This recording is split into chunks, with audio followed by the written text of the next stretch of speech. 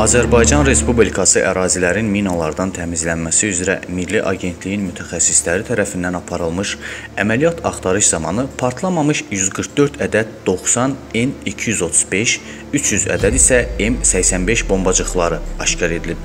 Qeyd edilən silah sursatlar konvensiyaya uyğun olaraq 2008-ci ildə qadağan edilib. Yaxşı, bəs bu qadağan olunmuş silahları necə tanıya bilərik? Hansı təhlükələri var? Hərbi vəziyyət zamanı hər bir vətəndaşın bilməsi önəmli olan bu məlumatları dünya üzrə arxivlərdən sizin üçün araşdırdıq.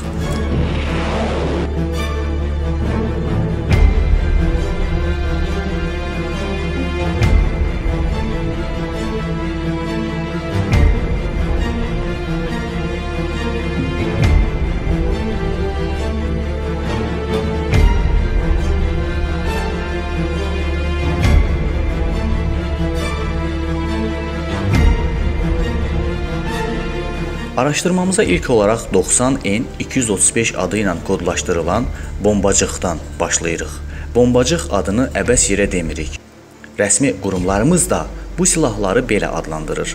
Amma əsas səbəbi bəhs edilən silah, yəni bombacıqlar raket formasında olan mexanizmin içinə yerləşdirilir. Bu raket bir növ kargo, daşıma rolunu oynayır.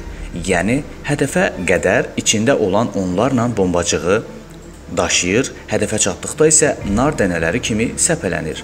Nəticədə düşdüyü yerdə daha çox tələfata səbəb olur. Zərbə ilə yerə dəyən raket içində itələmə mexanizması ilə partlayır və daxilindəki bombacıqlar ətrafa səpələnir. Müxtəlif məsafələrdə yandırıcı, dağıdıcı fəsadlar törədir. Mediada rəsmi açıqlamalarda Smerç adını son dövrdə çox eşidirik. Bax, həmin bu Smerç adlanan mexanizma budur.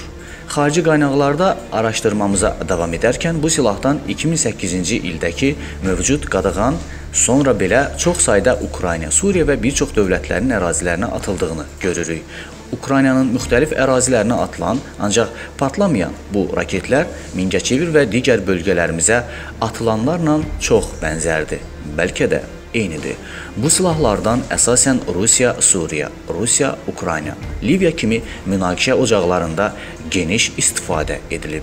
Bəhs edilən silahlardan keçmiş Sovet ölkələrinin demək olar ki, hər birinin inventarında mövcuddur. Gördüyünüz foto 2008-ci ildə Ukraynada keçirilən hərbi paradda çəkilib. Uzun illər əvvəl istehsal edilən bu silahların bir çoxu artıq öz ömrünü başa vurub və metal yığınından başqa bir şey deyil. Atıldığı bir çox yerlərə batıb qalan bu raketlər bəzən gülüş hədəfinə çevrilir. Düşmənin uğursuzluğu qarşı tərəfin üzündə təbəssüm yaradır. Növbəti araşdırmamız M85 kodlu bombalarla bağlı olacaq, hansı ki düşmən tərəfindən ölkəmizdə çox sayda atılmaqdadır. Cəbhədə baş verən olaylardan xəbərdar olmaq üçün kanal 13-ə abunə olmağı və bizi izləməyi unutmayın.